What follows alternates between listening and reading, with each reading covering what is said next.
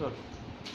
नमस्कार मित्र हो मी दत्ता कनवटे मॅक्स महाराष्ट्राच्या फेसबुक लाईव्हमध्ये आपणा सर्वांचं स्वागत. मित्र हो नांदेड महापालिकेची निवडणूक सुरू झालेली आहे. महापालिकेमध्ये अनेक दिग्गज नेते उतरलेले आहेत.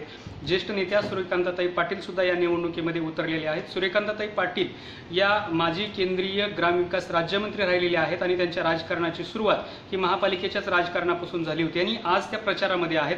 आपण त्यांच्याकडून जाणून घेऊयात की महापालिकेच्या निवडणुकीच्या अनुषंगानं कशा पद्धतीनं प्रचार सुरू आहे आणि कसा प्रतिसाद मिळतोय ताई काय सांगाल? एकंदरीत महापालिकेची निवडणूक आहे तुमची राजकारणी सुरुवात इथून झाली होती.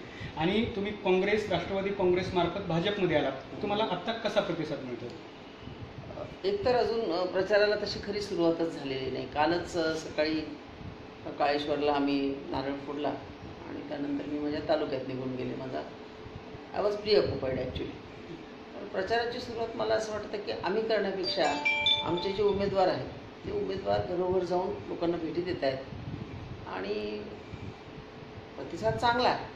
म्हणजे आधी सर्वार्थाने तर आम्हाला असं वाटलं होतं की आम्ही चाळीस एक जागा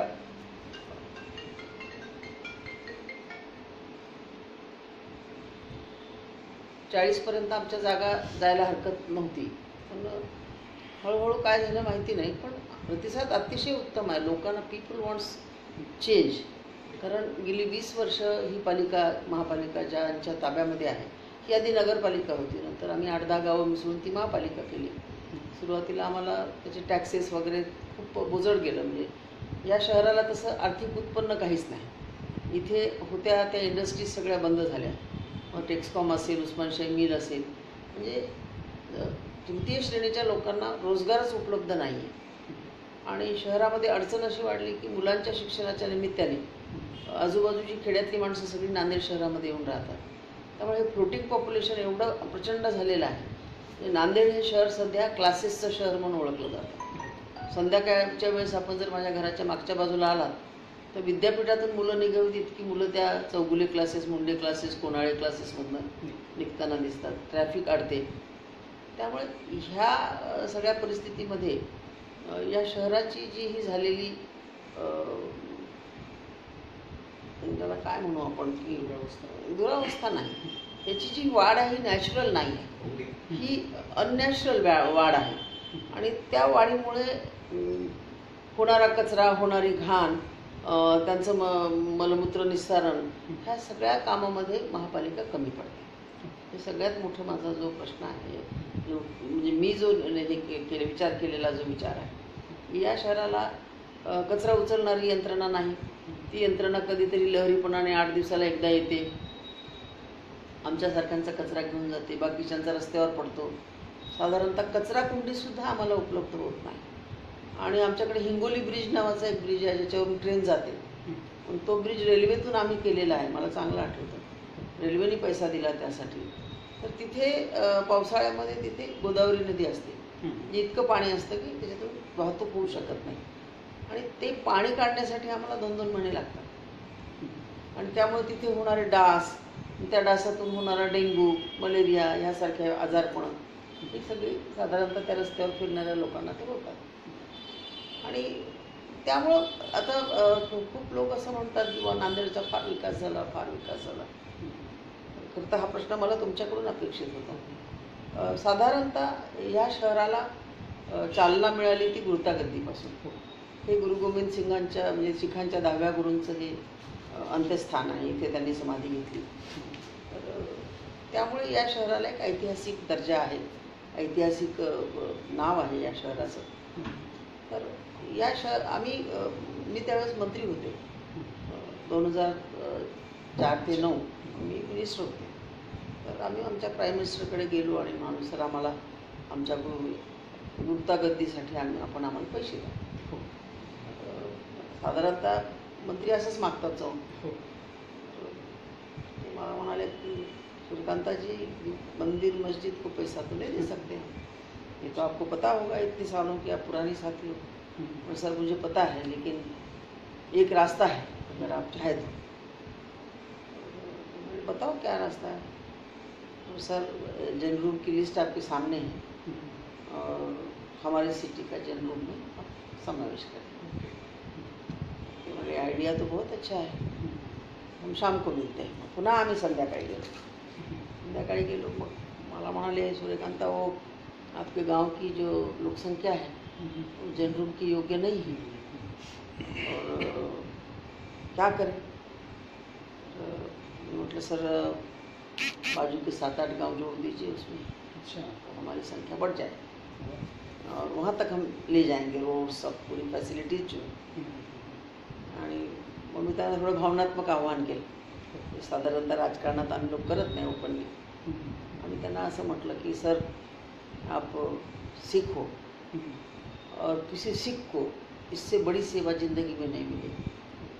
तो सिख होने के नाते आप आपका धर्म अदा कर दीजिए. ते म्हणाले मी प्राईम मिनिस्टर आहे मला धर्म वगैरे काही नाही. पक्का माणूस होता. हो.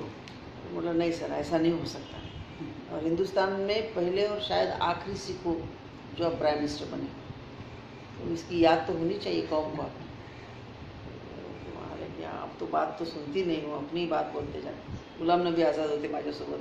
माझ्याकडे दुसरं एक खातं होतं पार्लमेंटरी अफेअर्स तर त्याचे ते कॅबिनेट होते. आणि नगर विकासचे पण मंत्री होते.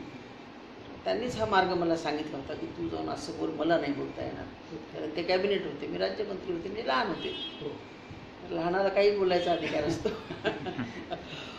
तर सरांच्याकडे मी आग्रह धरल्याच्या नंतर मी it's a wonderful memory actually म्हणजे मला अंगावर काटा यायला लागला.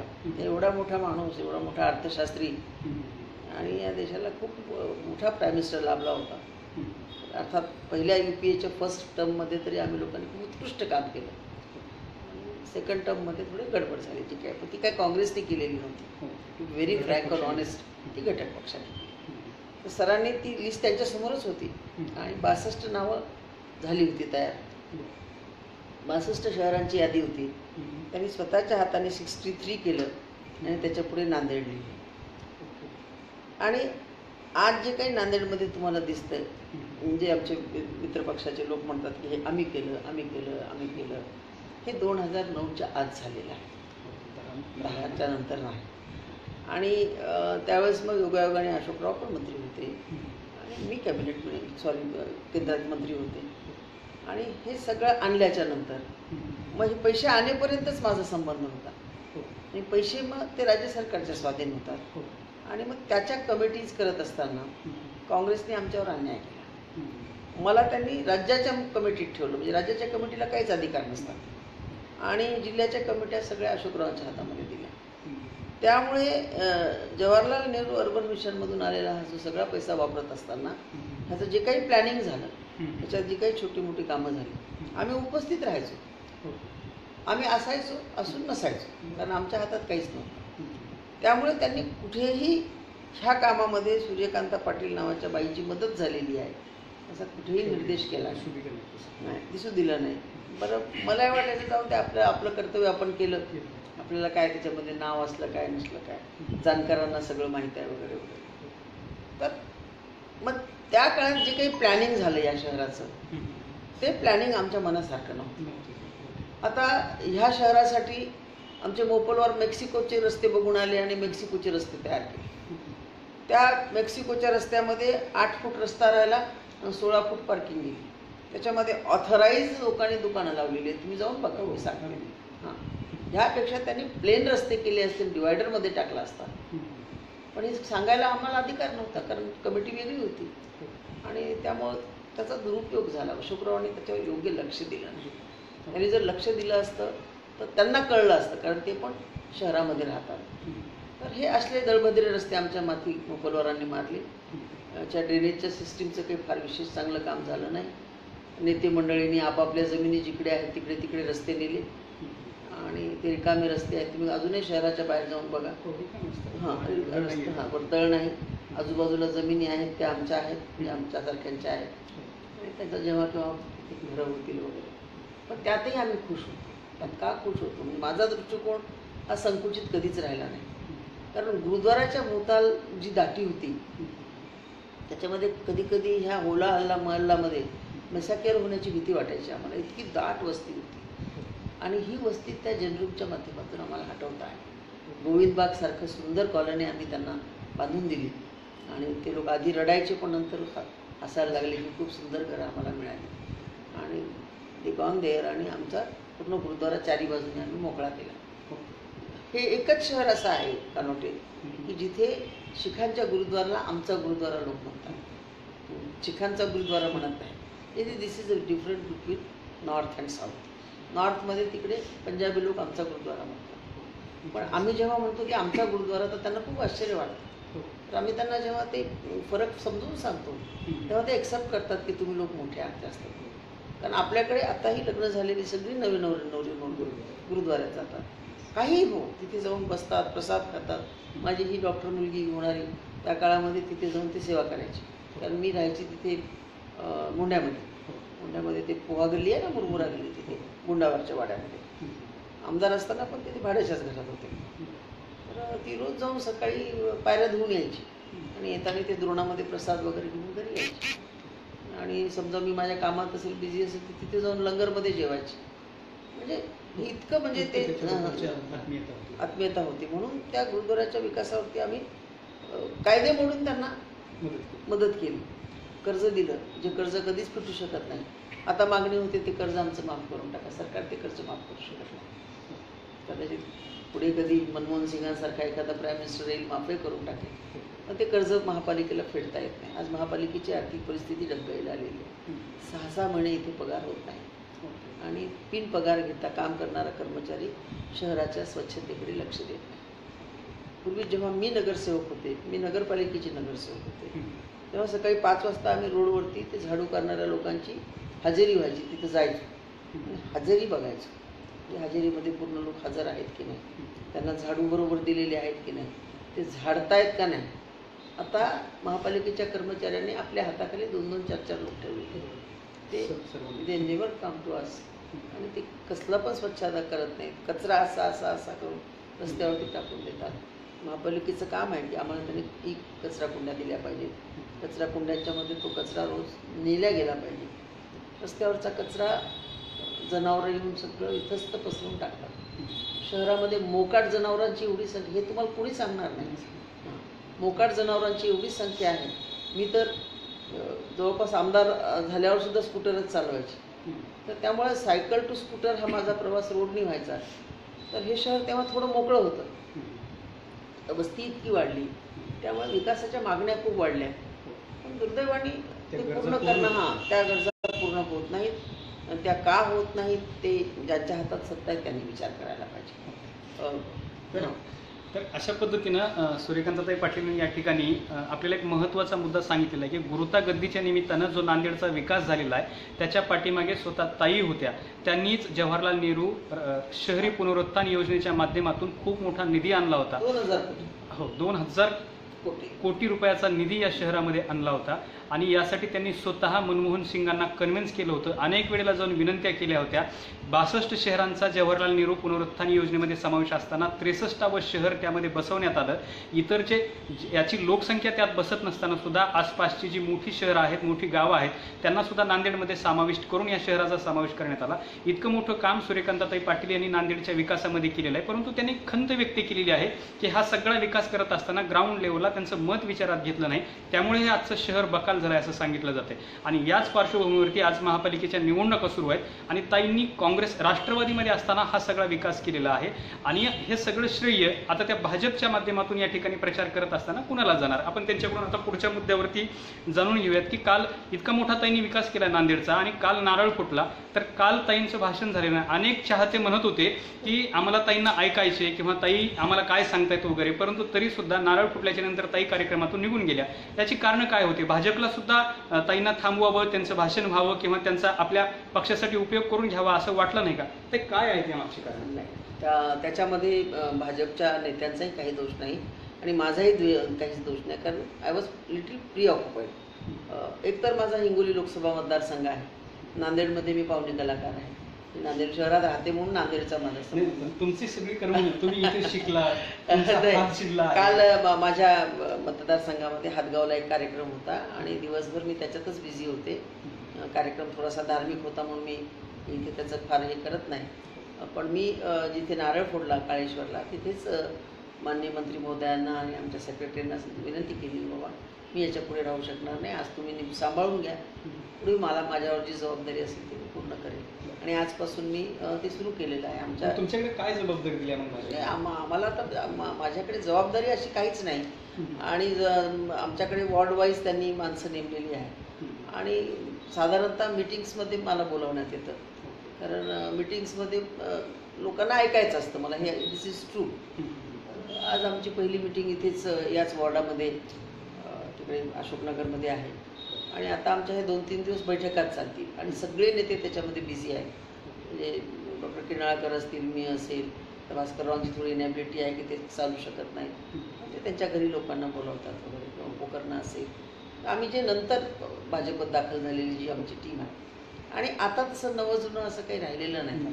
कारण आम्ही रिझल्ट देईल तो महत्त्वाचा असतो. नवा असेल किंवा जुना आज आता कसं आहे की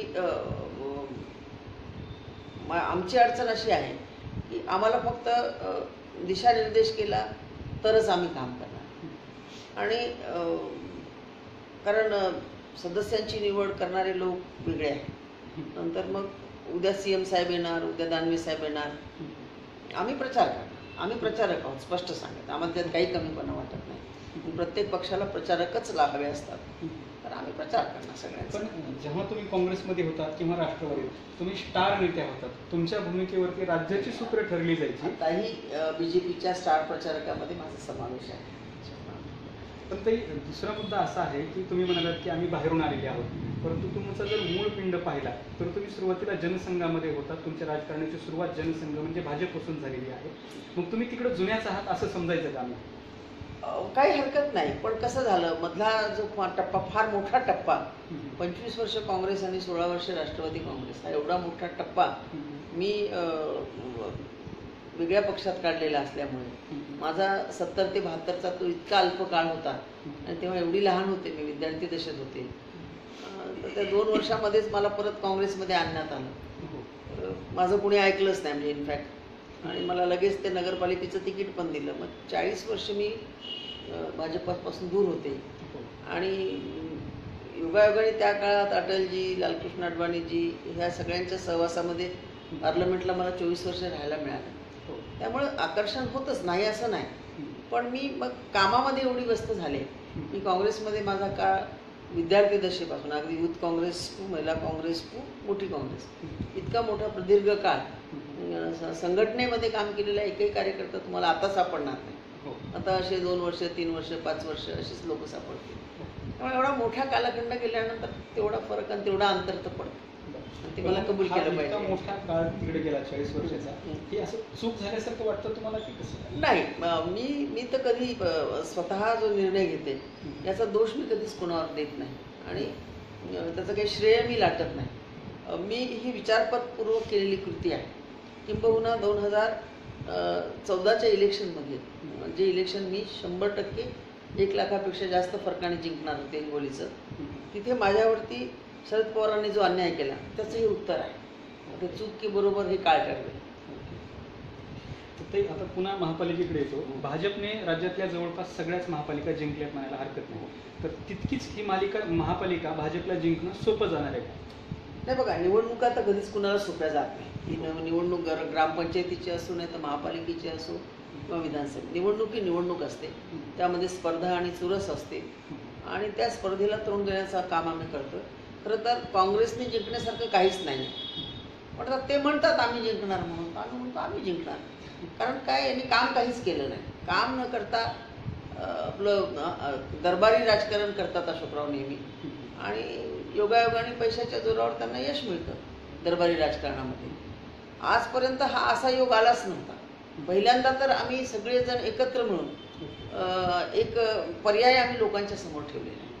तो पर्याय निवडायचा का नाही निवडायचा हे लोकांवरती अवलंबून आणि आम्ही लोकशाहीला मानणारे लोक लोक जो निर्णय देतील तो आम्ही सरचुकून स्वीकारतो. पण आमचा प्रयत्न आहे लोकांच्या समोर ह्या मागच्या वीस वर्षामध्ये या शहराचा काय ऱ्हास झाला तो ऱ्हास आम्ही लोकांच्या समोर प्रभावीपणे मांडणार. त्यात काही बाबच नाही.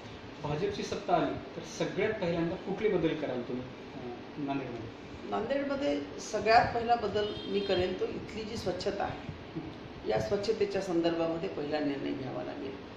आणि दुसरा निर्णय ही जी मोकाट जनावरं आहे ही जनावरं कोडवाड्यामध्ये गेली पाहिजे ती शहरात नाही आली पाहिजे तिसरा सगळ्यात मोठा मला जे नेहमी जाणवतं की या शहरात वाढणारा कचरा आणि त्या कचऱ्याची विल्हेवाट. गेल्या वीस वर्षामध्ये गत सरकारने आणि एकाच पक्षाच्या हातात ते सरकार होतं महापालिकेचं. त्यांनी लावली नाही.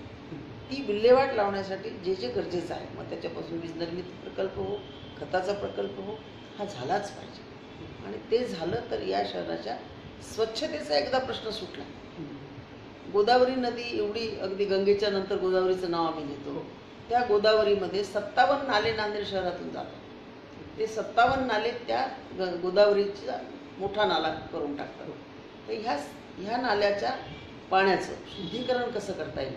किंवा तो जो जाणारा कचरा आहे तो कसा थांबवता येईल? याचा पण महापालिकेने विचार केला पाहिजे जो आजवर कधीच झाला नाही. दुसरा महत्त्वाचा जो प्रश्न आहे आमच्या माझ्यासमोर आहे. जन्म आणि मृत्यू काय आपल्या हातामध्ये नाही. आज लाकडाची कमतरता आहे. जंगलतोड जर तुम्हाला कमी करायची असेल लाकडाचा वापर तुम्हाला कमी करायचा असेल भावनात्मक गुंतवणूक न करता मेलेल्या मृत शरीराची योग्य विल्हेवाट लावण्यासाठी आम्हाला विद्युत दाहिनीची गरज आहे. आणि आज आठ नऊ लाख संख्येचं हे शहर झालेलं आहे. आणि इथे जर विद्युत दाहिनी आली तर बऱ्याच गोष्टी सुलभ होतील. आणि स्वच्छतेच्या दृष्टिकोनातून खूप मोठं पाऊल होईल असं मला वाटतं. साधारणतः हा विचार कोणी करत नाही. पण वाढत्या शहरासोबत हा विचार झालाच पाहिजे असं अशा पद्धतीने याच्यातून लक्षात येतं आहे की सूर्यकांताताई पाटील यांना या शहराची किती जाणीव आहे. नस ना नस माहिती आहे. सत्तावन्न नाल्यापासून पर्यावरणाच्या आणि प्रदूषणाच्या मुद्द्यां मुद्द्यांपर्यंत ते सांगतायत. परंतु तरीसुद्धा ही नांदेड महापालिकेची निवडणूक जिंकण्यासाठी लातूरवरनं संभाजीराव पाटील निलंगेकरांना आणण्यात आलेला आहे. मुळात पूर्वीपासून लातूर आणि नांदेड हा वाद कायम आहे. तरीसुद्धा निलंगेकर पाटला पाटलांना या ठिकाणी बोलवण्यात आलेला आहे. ताईंनाच विचारूयात की लातूर नांदेड वादाचा संभाजीराव पाटील निलंगेकर नांदेडमध्ये येण्याचा भाजपला फटका बसू शकतो का? मला तसं वाटत नाही. संभाजी पाटील निलंगेकर हे अतिशय समजदार मंत्री आहे आणि या मंत्रिमंडळातला एक उत्कृष्ट चेहरा म्हणून आणि अतिशय जिम्मेदार व्यक्तिमत्व आहे. त्याला राजकारणाची जाण आहे. आता पा पार्श्वभूमी आहे. आणि त्याचा काही फटका बसेल असं वाटत नाही. आणि लातूर नांदेड हा वाद खरं तर एकाच पक्षातल्या दोन लोकांनी निर्माण केला होता. तो आम्ही केला नव्हता. आम्हाला तर आम्ही अशोकरावांचे विरोधक जरी असलो तरी महसूल कार्यालयाच्या संदर्भात आम्ही अशोकरावांच्याच विचाराचे होतो आणि आहोत. अजूनही आहोत. पण वाद विलासराव आणि अशोकराव होता तुम्ही नाव घेत नाही मी नाव घेऊन सांगते. कारण विलासराव आणि मी एकदाच राजकारणात आलो. अशोकराव ज्युनियर आहेत मला. तर तो वाद त्यांनी निर्माण केला होता आम्ही नाही. त्यामुळे लातूर आणि नांदेड असा काही वाद आहे असं मला वाटत नाही. आणि राजकारणामध्ये असा वाद असू नये. कारण शेवटी सरकारमध्ये असलेल्या लोकांच्याकडनं कामं करून घ्यायची असतील तर विवाद कमी आणि प्रश्नाची उत्तरं जास्त मिळाली पाहिजे. जेव्हा विवाद सरकारच्या समोर जातो तर सरकार ते प्रश्न बाजूला टाकतो साधारणतः ही टेंडन्सी असते. आपण पण एखादं भांडण असेल तर तो प्रश्न आपण बाजूला टाकतो असा असं काही वाद वगैरे काही नाही आणि महसूल विभाग हा नांदेडलाच झाला पाहिजे या मताची अजूनही आम्ही आहोत.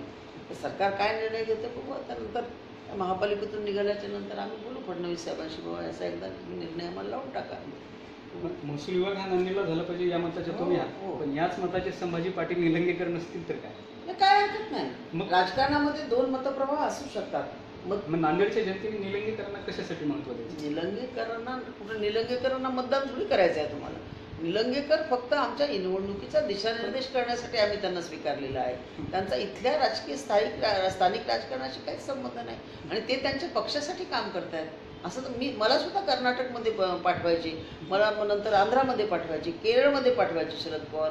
मग तिथल्या लोकांनी तसं थोडीच म्हटलं ही बाई मराठी बाई आहे इथं कशाला स्वीकारायची? पक्षानं जे काम दिलं ते काम करणं हे पक्षाच्या कार्यकर्त्याचं हे असतं कर्तव्य असतं. आणि मला असं वाटतं त्याच भूमिकेतून संभाजीराव इथे येतात किंवा सुजित सिंग ठाकूर आमचे जे सेक्रेटरी आहेत पक्षाचे. तर पक्षाचं हे काम करणं ही नित्यनेमाची गोष्ट आहे.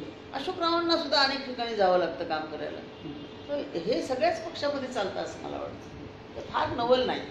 म्हणजे खरं मी वृत्तपत्राच्या लोकांनी किंवा हे हे वाद उकरून काढून विनाकारण लोकांचं मनोरंजन करू नये असं मला वाटतं. याच प्रश्नाला धरून थोडंसं यापूर्वी तुम्ही बोलला आहात पण पुन्हा एकदा तुम्हाला तोच प्रश्न विचारतो मी की संभाजीराव पाटील निलंगेकर किंवा सुरजित सिंग ठाकूर हे तुलनेनं नवखे नेते आहेत.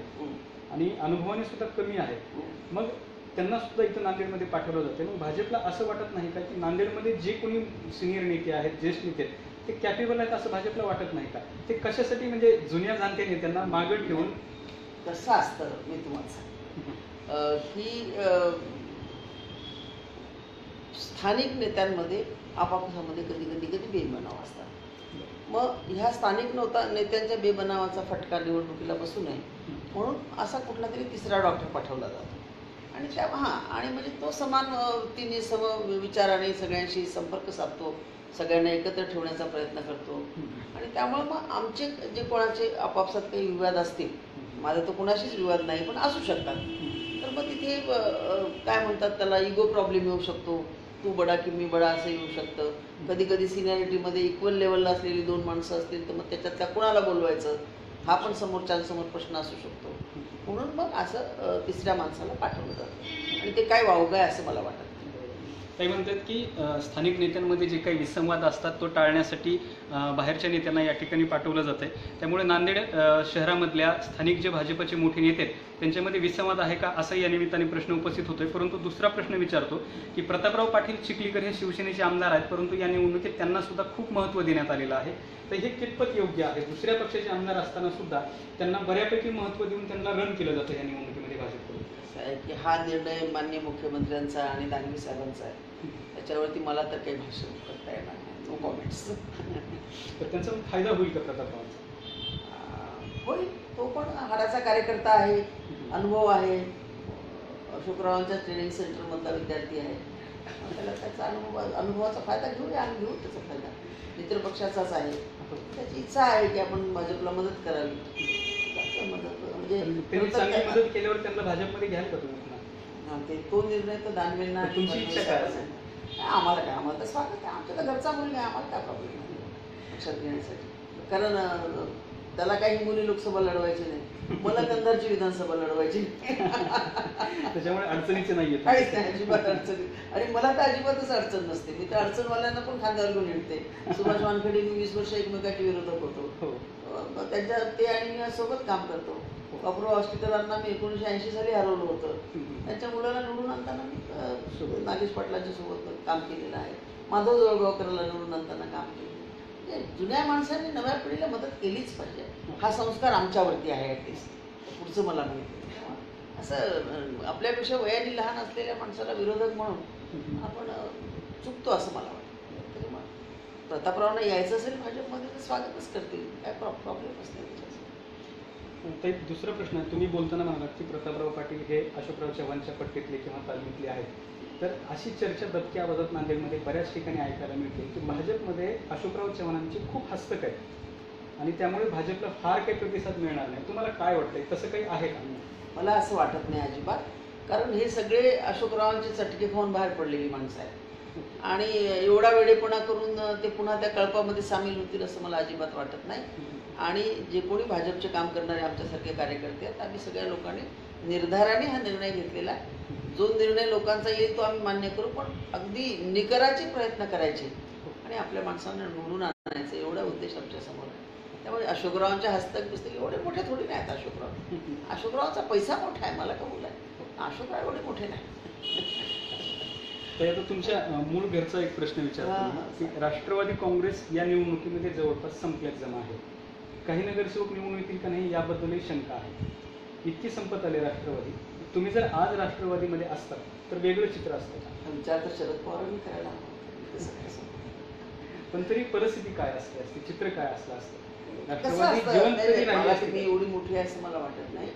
पण कसं असतं? घरामध्ये घराविषयी आत्मीयता असणारे किंवा त्या घराच्या उभारणीमध्ये जे लोक असतात त्यांना त्या घराविषयी जास्त आत्मीयता असते.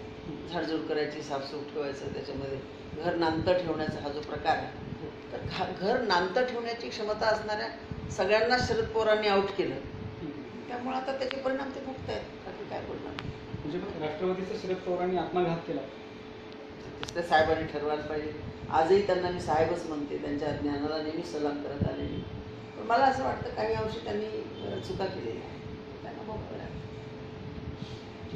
अं, दुसरे प्रश्न आहेत की महापालिकेमध्ये भाजपच्या किती जागा येतील एकंदरीत अंदाज तुम्ही जे या अलीकडे this is very early to say something हे तुम्ही दोन चार दिवसानंतर मला विचारलं तर मी सांगू शकेल. कारण अजून मी आज पहिल्यांदा संध्याकाळी पहिली मीटिंग अटेंड करायला जाते. एक दोन तीन दिवस मी फिरल्यानंतर मला कळू शकेल. आमच्याकडे फार कमी जागा मिळतील असं अजिबात आम्हाला वाटत आमची रेस काँग्रेससोबतच आहे. पण मग भाजपचे एक नेते आहेत स्थानिक नेते आहेत लहान नेते आहेत. त्यांचं म्हणणं आहे की आम्हाला किमान वीस बावीस जागा मिळतील. त्यांचं हे आकलन आहे. माझं काही तसं अजून आकलन झालेलं नाही. पण आम्ही मॅक्झिमम जागा मिळवण्याचा प्रयत्न करू सत्तेमध्ये जाण्याचा प्रयत्न करणार आहोत. कारण सत्तेत आम्हाला गेलंच पाहिजे असं मार्ग कारण या शहराची दुर्दशा त्याशिवाय संपणार कारण हे काहीच करणार नाही. काँग्रेस जरी निवडून आली तर काँग्रेस आम्ही त्यांच्यासमोर सांगायला तयार आहे. ते काहीच करू शकत नाहीत. त्यांची कुठे सत्ता आहे म्हणून त्यांना पैसा मिळेल मला सांगा. आलेल्या पैशाचा विनियोग करत असताना महापालिकेमध्ये सरळ प्रा- प्र- प्रकारे त्यांची सभासुद्धा होत नाही. त्यांची जी सभा असते नगरपालिकेची ती सभासुद्धा नीट कंडक्ट करत नाही त्यांचा महापौर त्यांची महापौर. आणि त्यामुळे तिथे असलेला सीओ हा त्या नगरपालिकेचा मालक असतो. ते फक्त पगाराचे मालक आहेत. पगार घेतात बाजूला. बाकी मग ते कॉन्सिलवर ढकलतात. कॉन्सिलचा खरं तर कॉन्सिल काहीच करत नाही. हे सगळं इम्प्लिमेंट करण्याची ऑथॉरिटी ही सी ओची असते. तिथे बेबनाव जास्त असल्यामुळे जे वरचढ आहेत तेच लोक आपला आपला तो निधी कुठे कुठे नेऊन काय काय काय असं करतात. असं टिंब टिंब टिंब टिंब त्यांचं काम चालू असतं. नगरपालिका उघडल्याच्या नंतर कर्मचाऱ्याच्या आधी नगरसेवक पोचलेले असतात. हे चित्र काय सांगतो तुम्हाला? हे काही घोषणास्पद नाही काँग्रेसला. आणि त्यामुळे काँग्रेसने खरं तर पुनर्विचार केला पाहिजे की सतत सत्तेत राहण्यापेक्षा काही दिवस थोडंसं आत्मचिंतन करण्यासाठी थोडंसं बाजूला राहिलं तर हरकत नाही. आम्ही राहिलोच की. आम्ही सात वर्ष आत्मचिंतनच करतोय. आणि त्यातून बऱ्याच गोष्टी आम्हाला शिकायला मिळाल्या. थोडं रोज सत्तेत राहण्यापेक्षा थोडंसं बाजूला जावं त्यांनी. नवीन लोकांना संधी द्यावी आणि आम्ही हेच लोकांना सांगतोय यार इतकी वर्ष त्यांना तुम्ही बघितलं थोडं आम्हाला बघायला आम्ही काम केलं नाही तर पाच वर्षांनी किंवा खाली ओढा. आणि हेच हाच विचार घेऊन आम्ही मी तरी लोकांच्या समोर तेच मांडणार आहे. अशा पद्धतीनं ताई म्हणतायत की आपण किती विकास केलाय किंवा आपण किती अंतर चाललेलो आहोत हे समजण्यासाठी काँग्रेसने काही दिवस सत्तेतून बाहेर राहिलं पाहिजे. म्हणजे त्यांना या सगळ्या गोष्टीचं आकलन होईल असा सल्ला त्यांनी या ठिकाणी काँग्रेसला दिलेला आहे. आणि भाजप विजयाच्या जवळ आलेला आहे असा सुद्धा विश्वास त्यांनी यावेळी व्यक्त केला आहे. आणि इथून पुढचे दहा ते पंधरा दिवस ताई स्वतः संपूर्ण वेळ प्रचारामध्ये सहभागी असणार आहेत. आणि भारतीय जनता पार्टी कसे निवडून येईल यासाठी प्रयत्न करणार असल्याचंही त्यांनी या ठिकाणी सांगितलेलं आहे. दत्ता कनवटे मॅक्स महाराष्ट्र नांदेड